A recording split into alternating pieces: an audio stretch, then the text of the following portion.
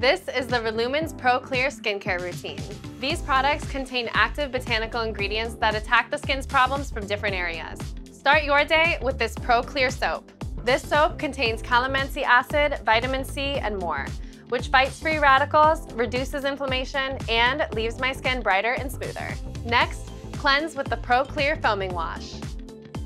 This foaming wash contains salicylic acid, which helps prevent future breakouts. Now, tone your skin with the Pro Clear solution. This solution contains paraffin that peels and clears clogged pores, while also acting as an anti-aging ingredient. This final step is where you calm, hydrate, and nourish your skin using the Pro Clear Serum. This serum contains neem leaf extract, which helps promote wound healing and combat signs of skin aging.